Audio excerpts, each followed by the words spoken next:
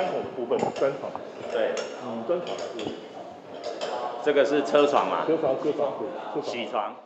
同学们，你们一定可以表现得更好。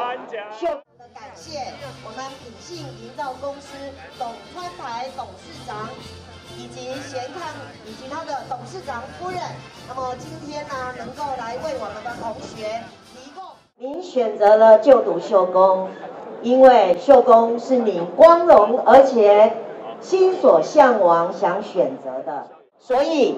我们看得到，我们毕业的校友或者我们三年级的同学，在今天获得了优异的表现。我们秀水高工长期以来对技能的训练培养啊是不遗余力，那历年来也有很好的成绩啊。我们所谓啊秀工的特色之一就是技技能学习一条龙，包括从国中技艺班。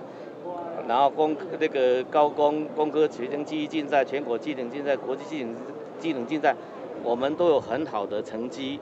那啊也很感谢我们啊杰出校友啊董川白董事长，能够啊来激励我们的这个同学啊们更加的啊更加的精进。所以今年有获得很好的成绩，有四个同学拿到金牌，两个同学拿到银牌，一个拿到铜牌，另外还有。还有一个第四名，两个佳作，成绩是非常的优秀。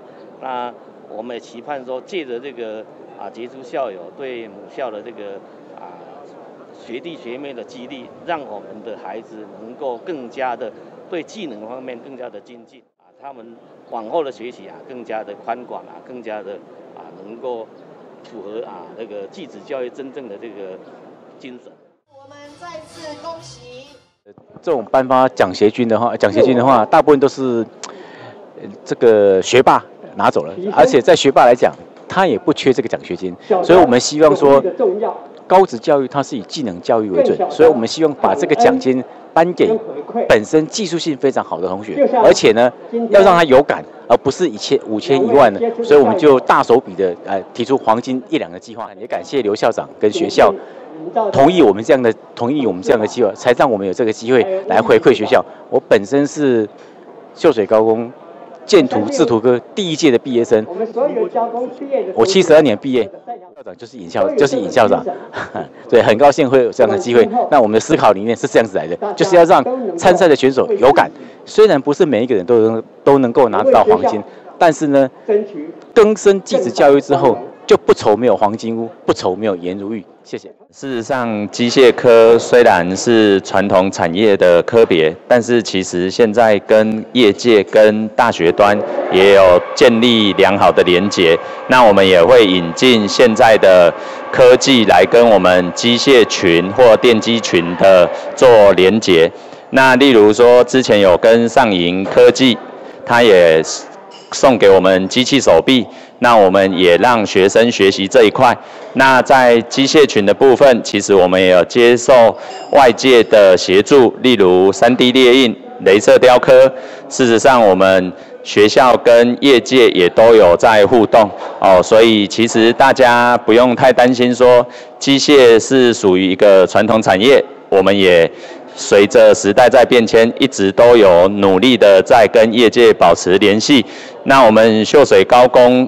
在这几年的成绩相当的好，包含了工业类科有五金首奖，哦，五个优胜。那我们今年的全国技能竞赛也获得了四面金牌、两面银牌、一面铜牌，还有很多的第四名跟佳作。那也希望大家能够来我们秀水高工参观与指教，谢谢大家。这个是车床嘛？车床，车床，铣床，铣床。